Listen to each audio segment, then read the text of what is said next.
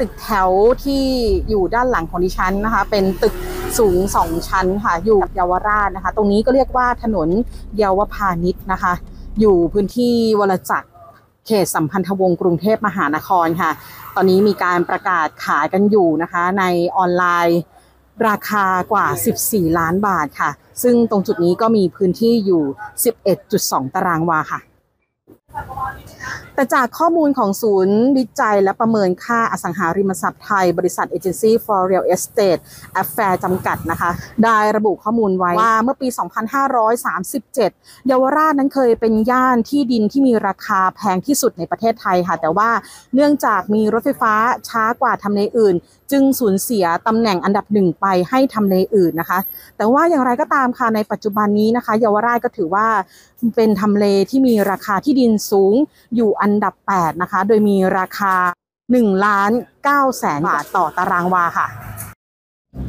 ดิฉันสอบถามกับทางเจ้าของที่ประกาศขายนะคะ ก็บอกเล่าให้ฟังค่ะว่า ประกาศขายมาเป็นปีแล้ว แต่ว่าสถานะตอนนี้ก็คือ มีคนติดต่อมาสอบถามเป็นระยะผ่านทางในหน้าค่ะ อย่างล่าสุดวันนี้ก็เห็นบอกว่า เตรียมที่จะมีคนวางมัดจำแล้วนะคะ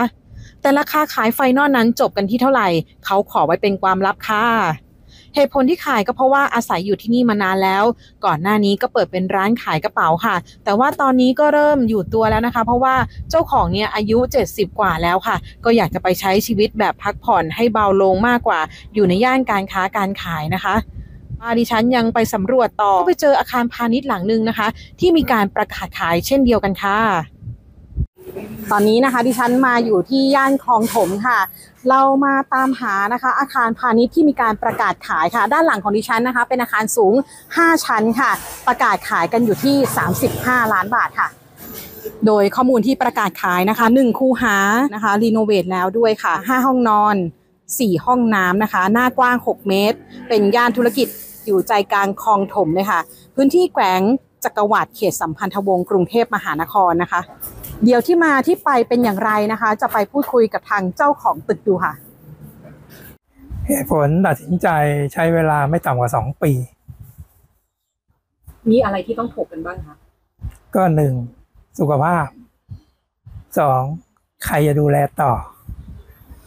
สามถ้าดูแลแล้วทำต่อไปได้ไหมนั่นนั่นคือเหตุผลที่ต้องตัดสินใจ ราคาที่ประกาศขายอยู่ 35 ล้านบาทอันนี้ค่ะ อันนี้เราแบบช่างใจยังไงหรือเพิ่มขึ้นลงมายังไง หรือใครแนะนำยังไงอะคะเออราคาที่พูดนี่ส่วนมากก็ดูตามพื้นฐานของพื้นที่ด้านเยาวราชด้านเจริญกรุง เวิร์งนครเกษมหรือแถวสำเพ็งซอยวานิชต่างๆ รวมทั้งของถมด้วย ราคาจริง ๆ ถ้าปัจจุบันมาพูดกัน ที่ว่าน่าจะอยู่ที่สี่สิบกว่าขึ้นนะ ไอการตัดสินใจถามว่าเออทำไมมาตั้งที่สามสิบห้าล้าน หรือสามสิบแปดล้าน อันนี้คือราคาพื้นฐานของของพื้นที่ตรงนี้จริง ๆ ที่เขาซื้อขายกันจริง ๆ ในในตลาดปัจจุบัน ใช่ไหมแต่บางคนอาจจะบอกว่าสูงไปไหมอะไรอย่างเงี้ยนะ อันนี้มันก็ขึ้นอยู่ว่าเราจะทำธุรกิจอะไรใช่ไหมถ้าเราคิดว่าเราทำแล้วมีแต่รวยขึ้น อย่าไปมองว่าสามสิบกว่าล้านมันแพงเลย บางทีบางคนยังห้าสิบหกสิบล้านเขาก็ซื้อ ใช่ไหมเพราะมันทำแล้วมันรุ่งเรือง มันเป็นมันเป็นเหมือนท้องมังกรอะนะมันไม่ใช่เป็นสถานที่เหมือนแบบทั่วๆไป ถ้ามันเติบโตขึ้นมาใหม่ ราคามันอาจจะไม่ใช่เท่านี้หรอกนะ